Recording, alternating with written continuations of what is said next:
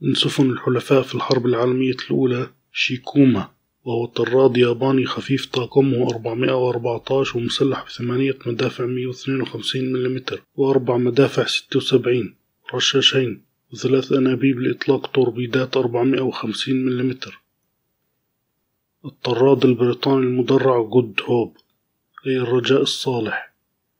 يتكون طاقمه من 900 عنصر يديرون مدفعين عيار 234 ملم 16 مدفع 152 ملم 12 مدفع 76 ملم وثلاث مدافع 47 ملم وانبوبي إطلاق توربيد 457 ملم طراد الحرب البريطاني انفنسبل وتعني الذي لا يقهر. طاقمه من 784 إلى 1000 يتسلح بثمانية مدافع 305 ملم 16 مدفع 102 ملم ومدفع 47 ملم ضد الطائرات وسبع رشاشات مكسيم وخمس توربيدات 450 ملم الطراد الحرب البريطاني نيوزيلندا. طاقمه 820 إلى 1200 عنصر.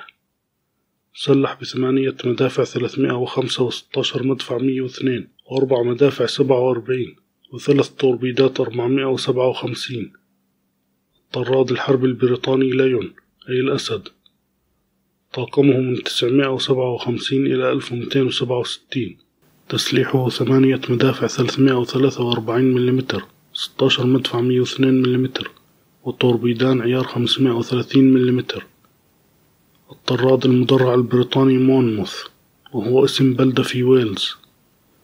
طاقم 678 ويحمل 14 مدفع 152 تسع مدافع 76 طراد الحرب البريطاني تايجر أي النمر طاقمه 1109 مسلح بثمانية مدافع 340 12 مدفع 150 ومدفعان 76 وأربع مدافع 47 وخمس رشاشات وأربع أنابيب توربيد 530 ملم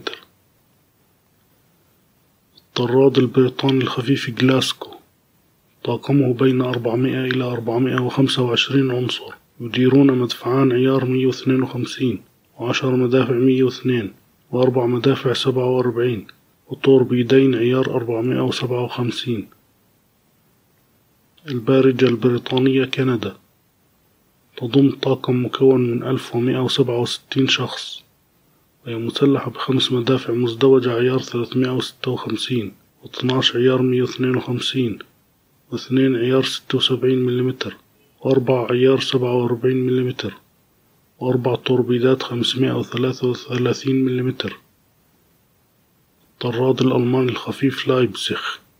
طاقمه 286 وتسليحه عشر مدافع 104 وعشر مدافع 37 وأربع رشاشات. وطوربيدان عيار 450 طراد الألماني الخفيف دريسدن.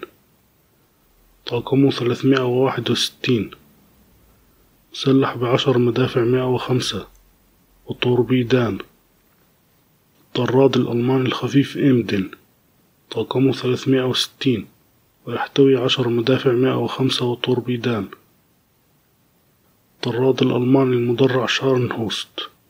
يضم سبعمائة وأربعة وستين بحار ويمتلك ثمانية مدافع ميتين وعشرة وست مدافع مائة وخمسين وثمنتاشر مدفع ثمانية وثمانين وأربع أنابيب توربيد عيار أربعمائة وخمسين. السفينة الحربية الألمانية فريدريخ دير جروسي أي فريدريك الكبير طاقمه ألف وأربعة وثمانين عنصر مسلحة بعشر مدافع ثلاثمائة وخمسة وأربعتاشر مدفع مائة وخمسين واثناشر مدفع ثمانية وثمانين وخمس أنابيب توربيد عيار خمسمائة مليمتر. سفينة طرف الأغر وهي سفينة تجارية استولى عليها الألمان وسلحوها بمدفعان عيار مئة وأربعة مليمتر ست مدافع أربعين مليمتر. سفينة ولي العهد فيلهلم وهي سفينة تجارية استولى عليها الألمان وسلحوها بمدفعين عيار 120 ملم ومدفعين 88 ملم ورشاش أما طاقمها فيبلغ 420 شخص.